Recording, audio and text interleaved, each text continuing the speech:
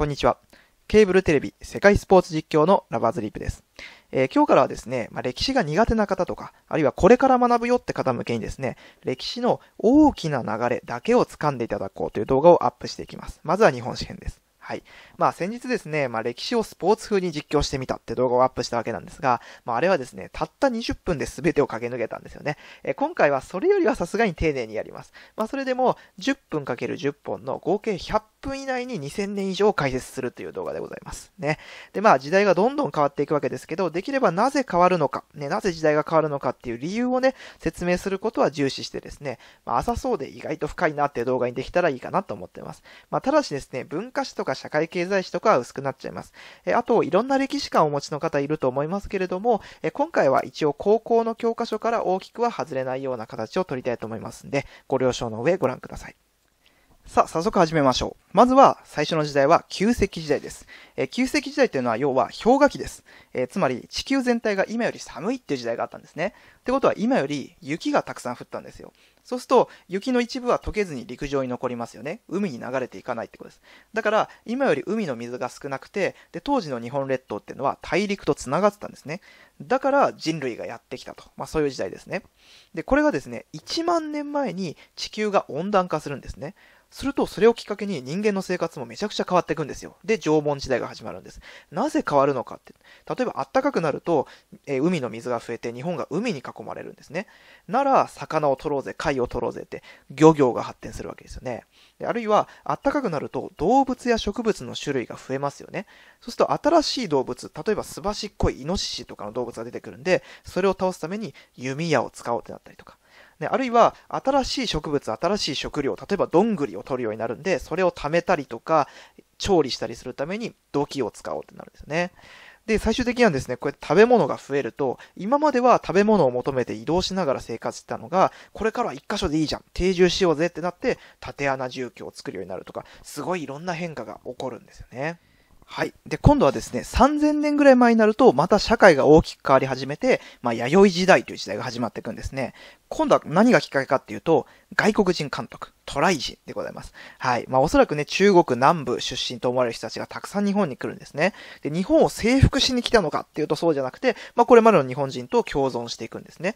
で、さらにですね、新しい技術をたくさん伝えてくれたんですよ。まあ、代表的なのは、田んぼで稲作をする技術とか、金属を使う技術とかですね。はい。で、特に稲作はですね、社会を根本的に変えていくんですよね。これなぜかっていうと、稲作って、そのうまくいけば自分が食べる量よりずっと多くの食料を生産できるし、しかも貯めとけるわけですよ。で、でも中には失敗する人もいるから、例えば失敗した人が来てね、いや、なんか食料ないんです、食料分けてくれませんか？って言われたら、なんか、タダであげるのはちょっと嫌じゃないですか。ね。なので、なら代わりに俺に従えよってなるかもしれないですね。まあ、要は身分の差が出てくるってことですよね。はい。まあ、あとね、当時の稲作は、かなり大勢で大規模な作業を一緒にやんないといけなかったんで、まあ、そういう意味で、これまでよりも大きな村が出てきます。で、さらにですね、村と村が戦争したりもします。これなぜかっていうと、お前んとこの食料よこせよとか、土地よこせよとか、水使わせろとか、まあ、いろんな争いがね、稲作をめぐった争いが、まあ、出てくるわけなんですよね。えまあ、こうなるとどの村でも強いリーダー、強力なリーダーが必要になってくるんですよね。まあ、農作業をまとめる上でも、戦争を指揮する上でもえ、あるいはですね、農作物取れますようにって神様に祈る上でもですね、あの、非常に強い代表者が必要なので、まあ、そういう意味でも身分の差が開いていくわけですよね。で、特に強力なリーダーはですね、もう周りの村も従えちゃったりして、まあ、その結果ですね、国ができるわけですよね。ということで、この頃の日本は、まあ、大体100ぐらいの国に分かれていたというふうに言われてますね。ところで、なんで100ぐらいってわかるのかっていうとですね、えこの頃の日本にはまだ文字の記録がないんですけども、お隣の国、中国に歴史書があって、で、たまに日本のこと書いてくれてるんですよ。ね、だからそこに、だいたい100ぐらいの国に分かれてたってことも書いてあるんですよね。で、もうちょっと中国の歴史書を見てみるとですね、で、今度は57年ぐらいになると、南国っていうですね、今の福岡県にあった国の王様が、え中国に使いを送って、で、金色のハンコをゲットしたらしいんですよね。ってことが書いてあります。まあ、この金色のハンコはおそらく持ってるとですね、まあ、俺は中国の皇帝の直接の家来なんだぜってね、周りの王様に、まあ、自慢できるんですよね。はい。で、さらに50年後、今度は水晶っていう日本の王様がまた中国の皇帝に使いを送って、で、皇帝に気に入られるために考えたんでしょうね。何をプレゼントしたか。生身の人間160人です。で、なんというサプライズって感じですよね。はい。えー、ただこの後ですね、日本は大いに乱れて、もう7、80年ぐらいですね、誰が代表者なのかわかんない時代になっちゃったっていう風にも書いてあるんですね。で、この危機を救ったのが誰かわかりますか？あの、邪馬台国の女王、卑弥呼ですよね。はい。で、卑弥呼は何がすごいかっていうと、まあ、神様の意志が聞けるっていう風に、まあ、信じられてたわけですよね。で、普段は、もう、あえて表に出てこないんですよね。奥に引きこもってひたすら神様の言うことを聞いてる。ってやると、なんか、みんなも、いや、なかなか普段ね、姿を現さないから、ミステリアスな感じがして、なんか本物っぽいなってなんか思うわけですよね。わかりませんけど。で、じゃあ代わりに表に出てくるのは誰かっていうと、弟なんですよ。ね、弟が出てきて、今神様はこういうこと言ってるらしいですよ。じゃあこういう政治をやりましょう。みたいな実際な政治をやっていくと。まあ、だからこの兄弟の連携プレーなんですよね。この見事な連携で、まあ、30カ国余りをまとめ上げて、まあ、比較的平和な時代を作ったと。で、中国にも認められたっていう、まあ、すごいですよね。はい。で、ちなみになんですけど、卑弥呼が死ぬとですね、一旦日本が荒れちゃうんですが、このですね、卑弥呼の一族と言われる、まだ13歳の女の子、イオという女の子をですね、女王にしたら、やっぱりうまくいったらしいんですね。多分同じ作戦ってね。ちょっと不思議なもんですけどね。さあ、しかしこの辺りからですね、ちょっとお隣の国、中国が荒れてきちゃうんですね。で、歴史書にですね、日本のことをあんま書いてくれなくなっちゃうんですよね。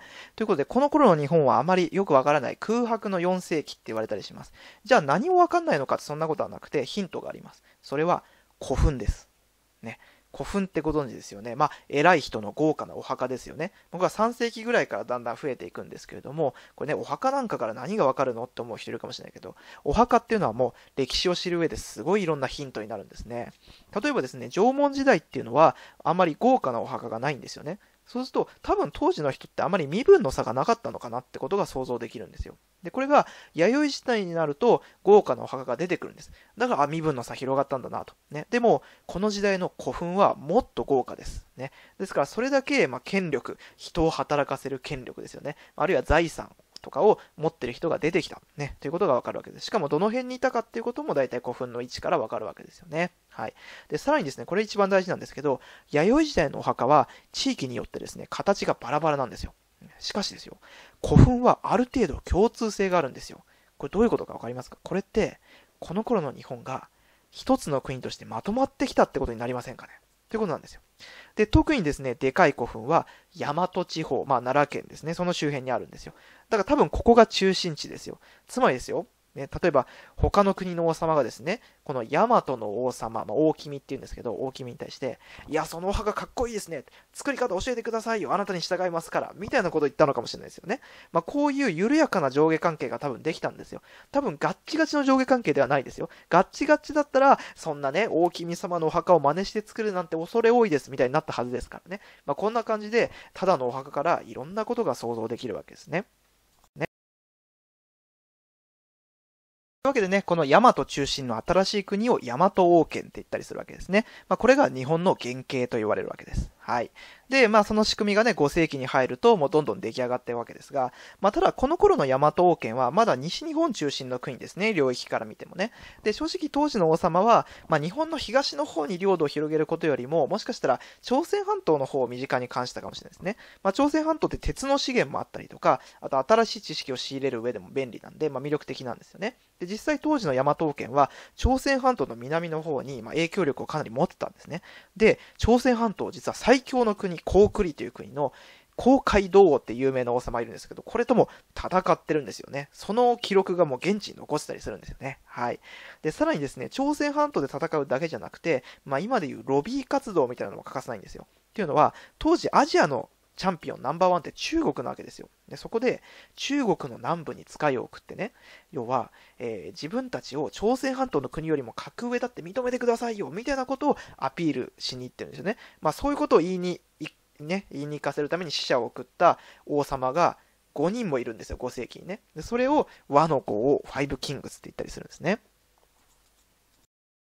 最後におまけです。えー、教科書には出てこない話なんですけど、先ほど日本に文字資料はないと、ね、当時なかったと言いましたが、でもね、後に日本はちゃんと歴史書を書いてるわけですね。古事記とか日本書紀とか。で、これを読んでみるのも面白いんですよね。まあ、もちろん無理がある部分もありますよ。神様がたくさん出てきたりとか、ね、あるいは、えー、人間の時代になっても天皇が百何十歳まで生きてたりとか、まあ、するんですけれども、まあ、そうは言っても完全な作り話じゃなくて、何かしらの歴史的事実を反映してる可能性が、まあ、高いと思いますし、そう思って読むと面白いんですよ。ね。まあ、一例を挙げるならば、まあ、大君、後の天皇ですね。天皇の祖先っていうのは、アマテラスというね、神様なんですけれども、実はね、それ、以前からですね、出雲というところに大国主という神様がいて、日本を治めてたんですよ。ね。で、え、その大国主がアマテラスの使者に国を譲ったっていうふうに書かれたりするんですね。はい。で、その後ですね、アマテラスの孫のニニギっていうね、え神様が、まあ、日本に降り立つんですけど、それも九州に降臨してきてます。で、その子孫が初代天皇と言われる神武天皇なんですけど、神武天皇も最初は九州にいたんです。で、神武天皇が東に遠征をして、でいろんな神様をですね、従えながら、最終的に大和に入るっていう物語があったりするので、これってやっぱり実際似たようなことがあって日本ができたのかなっていうふうにはやっぱり想像させるわけですよね。えまたですね、最後の方に出てくる大君、天皇ですね、の方が、まあ、実在する可能性は当然高いと思われるわけで、え最後にですね、実在したと思われる中で、特に有名な天皇を2人ね、え、ご紹介したいと思うんですが、えまずは5世紀前半にいらっしゃったと思われる仁徳天皇という方ですね。えこの方はですね、まあ、あの、なんか、民衆が貧しいの、貧しい暮らしをね、してるのを見て、え、かわいそうだから税を3年取らないって宣言して、実際は6年取らなかったとかいうですね、とんでもなくなんか優しい素晴らしい、えー、君主のように書かれてますね。実はこの方のお墓がですね、えー、大仙古墳という古墳で、と言われていて、これが、あのー、まあ、日本最大の古墳なんですね。はい。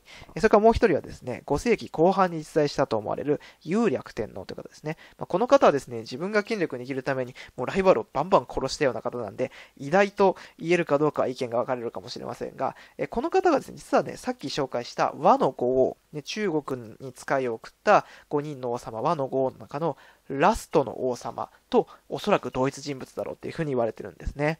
えー、またですね、彼の名前が書かれた資料がですね、埼玉県からも熊本県からも出てきてるっていうことで、まあ、このね、天皇の影響力の大きさがわかるということなんですね。はい。では、以上で終わります。